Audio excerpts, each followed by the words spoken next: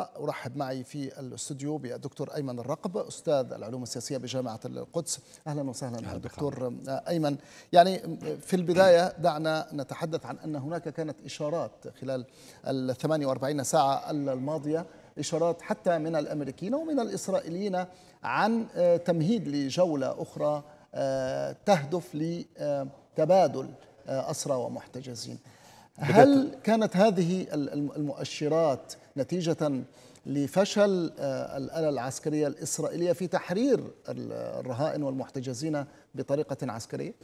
بداية تحت القمر ولكل سادة والسادة المشاهدين والمتابعين الكرام؟ يعني كان متوقع أن تبدأ هذه الجولة في الحديث عن هدى جديدة وصفقات تبادل الأسرى من منتصف الشهر حتى 20 الشهر الجاري ويعني كما طبعا توقعناها لو تحدثنا من اليوم حتى الأسبوع القادم ستكون نضجت هذه المرة.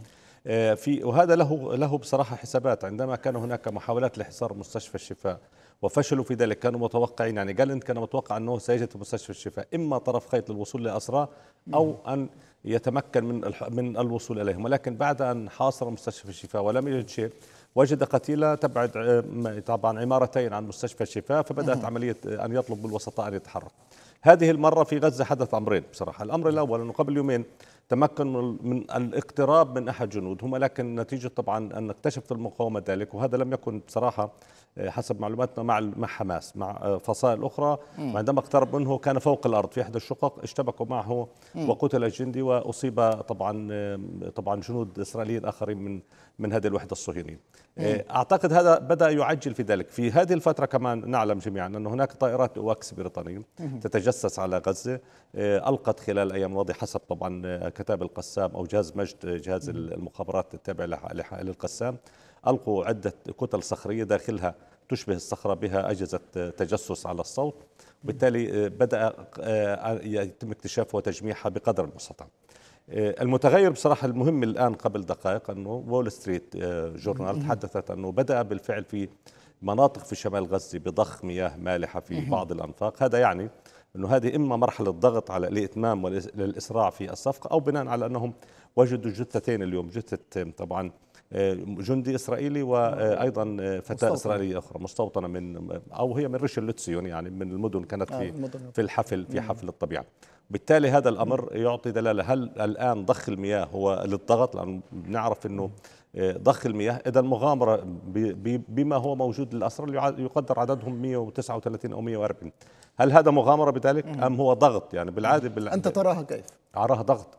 أراها ضغط لأنه ويدرك الاحتلال الأنفاق ليست منفذة على بعض بعض وحتى لو ضخ نسبة من الماء سيضخ نسبة صغيرة لا تغرق من بداخله وبالتالي يضغط لإتمام والإسراع في الصفقة بنعرف أنه هناك شروط يطرحها السياسيين حتى الآن لم نسمع إلا طبعا حديث أبو عبيدة اللي في رسالة أول أمس واللي تحدث بشكل كامل في رسالة طبعا مسجلة بأولا وقف إطلاق النار.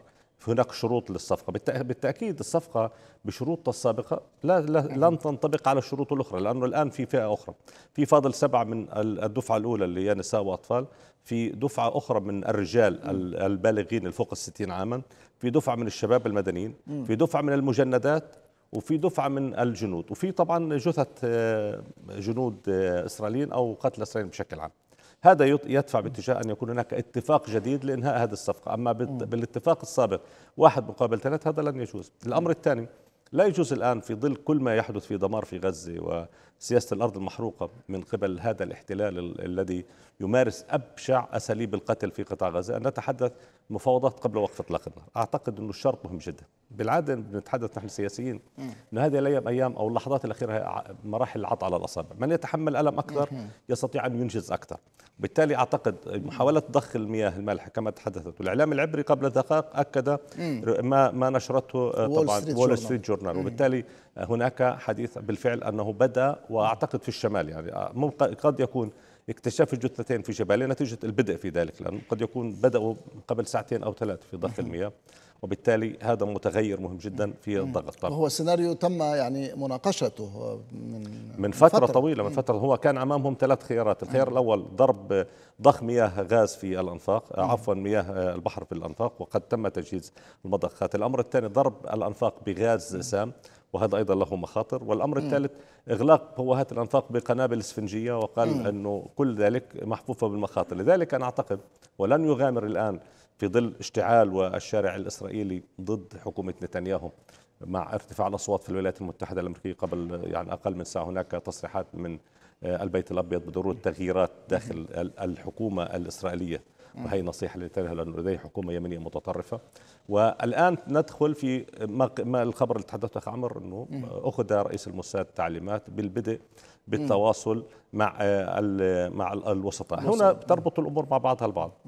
نحن واثقون إنه في صفقة قادمه نتنياهو يريد أن يحسن شروط هذه الصفقة وأن لا يكون هناك فرض شروط من قبل المقاومه كبيرة. يعني البعض شطح في في في طبعا تحليلاته والبعض وضع شروط المقاومة كانه بالفعل يعني إنه صفقة تبادل الاسرى قد تحقق النصر المؤزر. وهي أنا أعتقد يعني ضرب من الخيال مبالغ جدا بها. يعني البعض قال إنه شرط وقف الاعتداءات على القدس وقف الاعتداءات على الضفة الغربية. تفكيك مستوطنات البعض ذهب في وجهة نظره إنه من ضمن شروط هذه الصفقة تفكيك مستوطنات.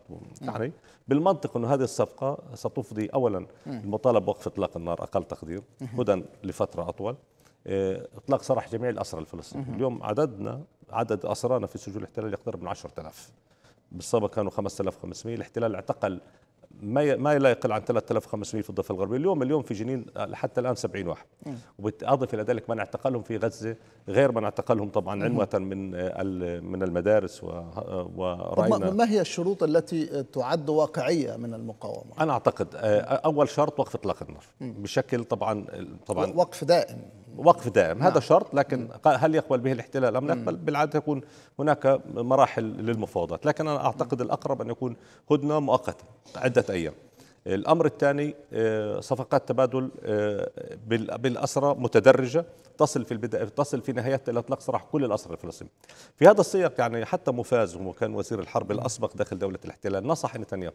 القبول بهذا العرض وأن هذا العرض لا يعني بكل الصور أنك لا تستطيع أن تعتقلهم مرة أخرى لأنه صفقة شليط أعيد اعتقال معظمهم. وبالتالي الأمر ليس صعبا على الاحتلال في الضفة الغربية. أنا وهو يعتقل الآن كل يوم في الضفة بالضبط الغربية. بالضبط. يعني أنا بتحدث في جنين على سبيل المثال. قبل أن أكون معك على الهواء 70 68 شخص اعتقل من جنين اليوم يعني أفرج عن محمد اعتقل أحمد. بالضبط. يعني حتى في صفقات التبادل السبعة أيام الهدن أفرج عن 240 أسيرة واسير اعتقل 265 في نفس الفترة.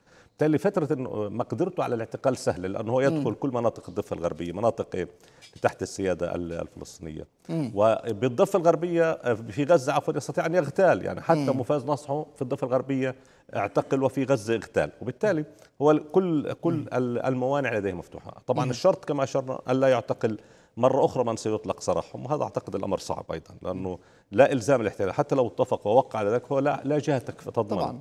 يعني قبل ذلك كان هناك ضمانات دولية ولا أحد يعني استطاع أن يضمن. الأمر الثالث أن يتم لاحقا بعد إتمام سراح كل الأسرى الفلسطينيين الحديث عن صفقة سياسية. أنا أعتقد أنه الاحتلال بتصريحات المتوارده أنه لا صفقة سياسية مع حماس. وبالتالي هذا يعني أنه حماس قد طبعا طلب أنه نتنياهو بشكل عام أنه أنا سأقضي على كل الجناح العسكري لحركة حماس، هذا الأمر بالتأكيد ليس سهلا. وحماس لن تقبل كتاب القسام لن تقبل بشكل أو بآخر أن يقضى عليها بهذا الاتجاه حتى لو في صفقة سياسية، لذلك أنا أميل أقرب أخ عمر أننا سنشهد هدنة إنسانية لعدة أيام مقابل صفقات تبادل الأسرى وستعود الحرب للاشتباك، لكن الأمريكان لا يعطوا الضوء الأخضر المفتوح للإسرائيليين. واضح أن الأمريكان فقط يعطوا بحد أقصى مطلع العام القادم لأنه هم عندهم انتخابات. انتخابات بالضبط نعم. وستقفل الميزانيات المالية والاخر ولن يستطيع مم. ان يرسل حتى ذخيرة للاحتلال. أه. بالتالي سيكون نتنياهو وحكومته في حرج من استمرار الحرب. لذلك نتنياهو يقترح امامنا شهور أخرى ولكن في إعادة تموضع. هو سينسحب على مناطق حدودية في غزة ولكن كيف سيسوق ذلك للداخل الإسرائيلي؟ لا سيقول الحرب مستمرة. نتنياهو لن يقول الحرب انتهت هو سيعيد تموضع نشر دباباته وجنوده على تخوم غزة. في الشمال والشرق وفي تخوم طبعا خان يونس وفي تخوم رفح. وبالتالي يقول نحن نحاصر لأنه أعتقد الأمر سيكون فرصة لعودة في فترة الهدنة والهدوء النسبي عودة سكان قطاع غزة إلى منازلهم. طبعا نتحدث عن 70% من قطاع غزة دمرت وبالتالي هو سيعودوا إلى أطلال. وسيعيشوا على خيام الأطلال حتى يتمكنوا يعني حتى أنا ابن غزة وأدرك ما حدث في غزة.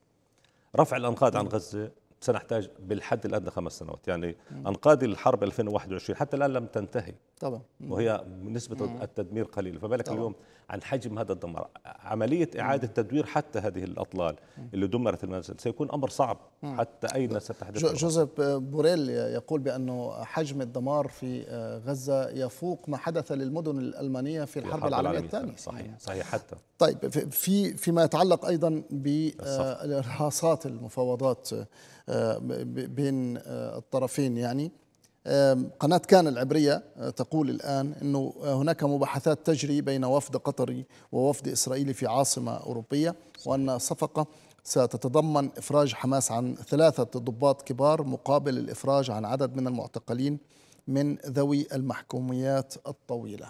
يعني هل هذه فقط يعني شروط يعني لا هذا هذا الخبر أنا قرأته صباحا وقيل إنه في النرويج. هذه الصفقه تتم الحوارات تتم في النرويج و. ومصر طرف فيها. وحتى اللحظه لم تؤكدها أي جهة لا لا لا الإسرائيلية ولا ال- ولا القطرية ولا المصرية بشكل عام. وإنه تتم في في بإطلاق سراح. آه، طبعا ضباط كبار مقابل إطلاق سراح. مجموعة من الأسرى وعلى راسه مروان البرغوثي مروان، حتى في آه. هذا الخبر قيل.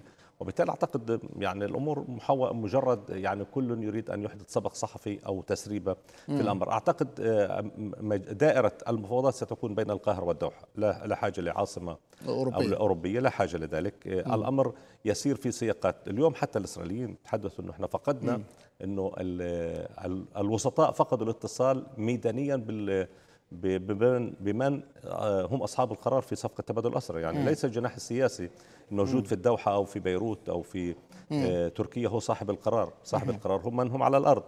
آه، حتى في الفترة اللي أوقفت بها الاتصالات قيل أنه نحن لا نستطيع أن نتواصل مع السنوار أو مع الجناح العسكري فأعادوا ضخوا السولار لتشغيل م- شبكات الاتصالات في غزة لتعود الاتصالات رغم أنهم يدركوا أنه السنوار يتواصل بقمر صناعي أو بتليفون قيل في حين أن الثريا مع آه، الوسطاء. وبالتالي الآن هناك بالعادة خمر في أي في في المعارك في غزة.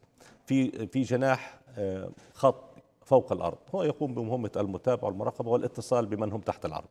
من هم تحت الأرض هم أصحاب القرار إن كانت طبعا نتحدث عن وحدة الظل اللي هي مسؤولة عن تأمين الاسرى وتنقيلهم من مكان لمكان. وهي نجحت هذه الوحدة التابعة لحماس منذ عام 2005 حتى الآن في في صفقة مهمات. شليط. شفقة شليط بالضبط. وحتى الآن لديهم أربع اسرى إسرائيليين منذ أكثر من عشر سنوات وهم محافظين عليهم ولم يستطيعوا الإسرائيليين الوصول لهم وقد نجحوا في صفقة شليط وحتى شليط قيل أنه كانوا يت يعني آه، نتناول وجبات الطعام سويا. يعني لم يكن الأمر سهلا. ورغم كل ذلك الاحتلال لم يستطيع الوصول إلى منهم إلى أي منهم. وبالتالي هذه مهمة. المهمة الأخرى إنه هناك من هم تحت الأرض وفوق الأرض فوق الأرض يقال حسب الاعلام العبري نتيجة ما تم اغتيالهم خلال الأيام الماضية قد قتل من هم فوق الأرض فعملية الاتصال مع من هم تحت الأرض أصبحت أصبحت صعبة. صعبة. أصحاب وهذا وارد على على فكرة بشكل أساس إنه هذا سيصعب عملية آه، الاتصال مرة أخرى بالوسطاء.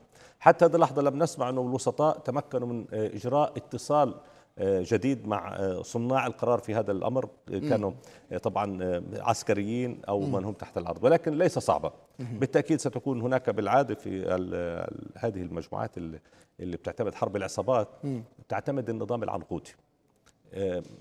قتل شخص ففي شخص آخر يستلم وهكذا وهكذا حتى يصلوا إلى إلى القاعدة الأوسع. فبالتالي ليس لديهم مشكلة. السلاسل لا تنقطع. هذه السلسلة المتصلة لا تنقطع. انقطع سيتم وصلها مرة أخرى. ليست مثل التنظيم السلسلة. لو قطعت واحدة خلاص أصبح الاتصال صعب. وبالتالي من من السهل عودة الاتصال بالجناح العسكري. ولكن أحيانا آه، مطلوب أن تكون هناك تعمية كاملة. مش قادرين نوصل لهم لزيادة طبعا طبعاً. الشروط المفروضه الشروط آه. وأنا أعتقد حتى حديث أسامة حمدان آه، يعني غير متصل بما يحدث على الأرض. هو تحديدا ماذا تقصد؟ عندما قال يجب وقف إطلاق النار بشكل نهائياً. كامل نهائيا نعم، نعم. أعتقد هذا الأمر يعطي دلاله قد يكون فقط هو يعني صرح تصريحا سياسيا بعيدا عن الواقعيه، الواقعيه إنه في النهاية رفع السقف كثيرا. بالضبط رفع السقف كثيرا والمقاومة تكون لها بالعادة سقوف خلال المفاوضات. لكن طيب، سنصل إلى مرحلة نصل إلى إنهاء هذه الصفقه بالتأكيد. دكتور أيمن يعني ونحن نتحدث عن الطرفين ونحن نتحدث عن الضغوط التي تمارس على الطرفين. يعني هناك من يقول بأنه ربما حماس الآن أو المقاومة بشكل عام بعد هذا القصف المكثف على مواقعها وعلى ال- البنية التحتية وهذا العدد الهائل من من الضحايا ربما تكون في موقف يجعلها مرنة أكثر في أي مفاوضات مقبلة. في المقابل يعني هناك التصريحات التي استمعنا إليها الآن من بايدن الحليف الأكبر لنتنياهو ولحكومة الاحتلال وهناك أحاديث وتصريحات وبيانات تصدر عن حكومات دول مثل وزراء رؤساء وزراء أستراليا وكندا ونيوزيلندا بضرورة وقف العدوان، هل هذه تمثل يعني ضغوط على حكومة الحرب؟ أنا أعتقد حكومة نتنياهو الوقت ينفذ معها. يعني أعود بالذاكرة قبل قرابة أربع أسابيع أو ثلاث أسابيع عندما تحدث أولو كوهن ووزير خارجية الاحتلال الإسرائيلي أن الضوء الأخضر ينفذ ونحن دخلنا مرحلة الضوء البرتقالي وهذا كان يتحدث أنه في بداية ديسمبر ستنتهي الضوء صحيح الأخضر والأحمر نعم. الذي منح. فاستدعاه نتنياهو ووبخه على هذا التصريح. على هذا التصريح. في في حينه. وواضح أن عندما زار بلينكن دولة الاحتلال أخذ ضوء أخضر جديد لإنهاء المهمة في خان يونس بالتحديد خان يونس. لذلك رأينا استدعاء لواء كفير وهو لواء ينشط في اقتحام المدن في الضفة الغربية لديه خبرة في اقتحام المدن. ووضع خطة جديدة في اقتحام خان يونس. لذلك أنجز مهمة خان يونس في 24 ساعة. كان قد وصل إلى عمق خان يونس. واليوم يقترب من الوصول إلى عمق مخيم خان يونس. أي دخل في عمق قرابة 8 إلى 9 كيلو من السلك الشائك حتى خان يونس. هذا هذه مساحة كبيرة جدا. حجم المعارك حتى اللحظة صعبة في خان يونس ليس سهل. الاحتلال رفع سقف اقتحام خان يونس وقال أن خان يونس ستكون هي بها مركز القيم لذلك حتى محاولات يعني شراء أي نصر.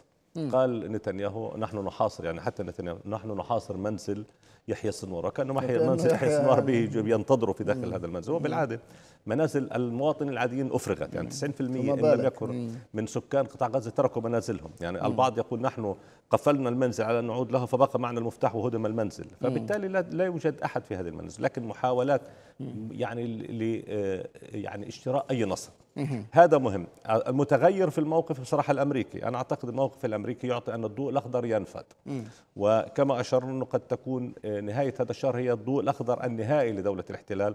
يعني نتحدث نقترب من 80 يوم من هذه الحرب المسعورة أو 85 أو ثلاث شهور يعني. وبالتالي هذا لم يحدث. وحجم تضحيات يقترب من حتى مع من هم تحت الأرض من 30 ألف شهيد ومفقود. هذا رقم ضخم جدا.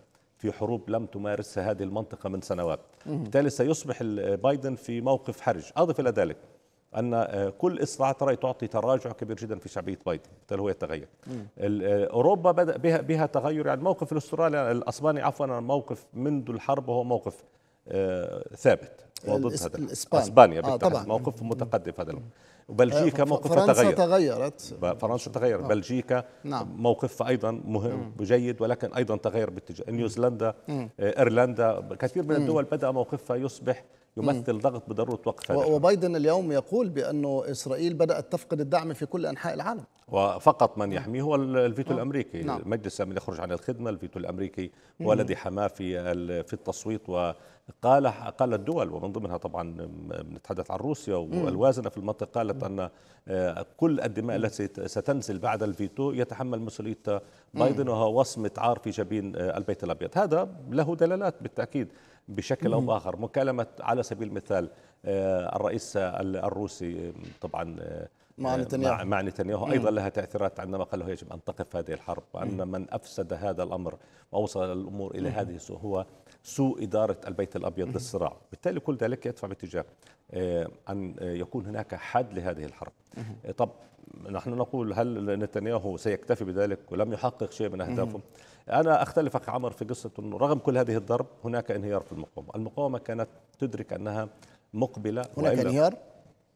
تختلف في ماذا؟ فيما قال إنه المقاومة آه. تلقت ضربات نعم. وقد تنهار، أنا نعم. أعتقد إنه لا لا زال المقاومة لديها مقدرة على الصمود شهور في مواجهه هذا الاحتلال، المقاومة التي نفذت عمليه يوم 7 أكتوبر. كان بإمكانها لو شعرت إنه بالفعل سيكون هناك انهيار لأكملت لوصلت حيف بمجموعات المقاتلة، لكن هي كانت تدرك أن هذه الحرب تريد إدارة ذكية إلى فترة طويلة، والهدف ليس فقط هو طبعا أن فقط نطلق سراح اسرى، الهدف إحياء العملية السياسية بشكل كامل وإحياء فكرة حل الدولتين وإنهاء هذا الصراع بشكل يعطي أمل للشعب الفلسطيني. صفقات تبادل الاسرى وكل هذه الأمور هي هي صفقات من ضمن الصفقات التي ستحرك الملف. بالعادة نحن سياسيين بنقول أن الهدن تبرد الحروب. قد تكون الهدنة القادمة تبرد الحرب وتعطي مجال للوسطاء للحديث على صفقات سياسية قادمة. اليوم في إرهاصات كثيرة على فكرة على الصفقات. البعض يقول عودة السلطة نتنياهو يقول لا نسمح لن نسمح لا, لا ستان ولا ولا فتح مثل لا فتح ولا حماس. مش عارف حيجيب مين هو بصراحة نتنياهو. آه، يعني أن يأتي بانطوال لحد في غزة هذا مستحيل. و- طبيعة الشعب الفلسطيني في غزة صعبة و- وهل مطروح يعني هل يعني يملك فعلا آه، نتنياهو ربما استراتيجية لا يريد الكشف عنها أم أن المسألة يعني يوم بيومه؟ أنا أعتقد نتنياهو يتحدث بحلاوة روح. نتنياهو اللي يدرك أنه آه، انتهى مستقبله السياسي. وما يحاول أن يقدمه هو فقط محاولات أنه للشارع الإسرائيلي أن لا زلت قوي. وأنا متمسك في في كرسيي ولن أتركه إلا بالانتخابات. في المؤتمرات الصحفية الأخيرة لم نعد نرى الغربان الثلاثة مصطفين يت- يتحدثون كل يدلو بدلو في في الجولات الأخيرة في أقل تقدير في آخر أسبوع رأينا كل منهم يأتي في مؤتمر صحفي لوحده. حتى بعد الاجتماع المشترك يخرج نتنياهو لوحده وجالنت لوحده. وجانتس أحيانا يبعد عن المشهد ويستعد للانتخابات لأنه أصبح يرى أنه هو النجم القادم. النجم القادم بالضبط. بالتالي يعود في هذا. وبالتالي نتنياهو عندما آه، يعاد تموضع ال- الحرب في صف في إطلاق آه، طبعا عمليات م- فردية بين الحين والأخرى وعدم وقف القصف بشكل كامل على غزة بشكل كامل لكن بشكل أقل حدة مما نراه الآن. يعتقد أنه بذلك يطيل أمد بقائه في الحكم. ولا أعتقد أنه آه، قد نشهد خلال ال ال ال بعد إتمام صفقة تبادل الأسرى الحديث بشكل أساسي على إما تجديد بعد كلام بايدن الحكومة أو آه، طبعا آه، طيب أنا, تغير أنا, معي. دقيقة ونصف دكتور أيمن. هل تتوقع بعد هذه التصريحات ال- آه، غير المسبوقة من الإدارة الأمريكية لنتنياهو آه، بأن وتيرة العدوان ستزداد خلال الفترة الحالية آه، إلى نهاية العام. يعني أكثر مما هي الآن. أعتقد لا أعتقد لا بنفس السياق. هو ليس لديه ما ما ما يفعله أكثر من ذلك الآن وحتى زياده الضغط على على خان يونس اللي بيعتبرها هي مقر القيادة الآن ستتم بنفس السياق وبنفس الاتجاه ولا يستطيع الآن على سبيل المثال الضرب بإزاحة الكتلة السكانية في من رفع باتجاه مصر بعد أن سمع خلال الساعات الماضية كلاما قاسيا من الجانب المصري ومن الجانب الأمريكي وبالتالي سيدفع باتجاه فقط آه، أن تستمر هذه الأمور. وأتوقع أن تبدأ الحديث عن هدنة حقيقية الأسبوع القادم واليوم في تصويت ل- للجمعية العامة. آه، حتى لو حصلنا على 170 صوت معنا هذا لا لا يغير شيء في آه، القرار مجلس امن حاسم.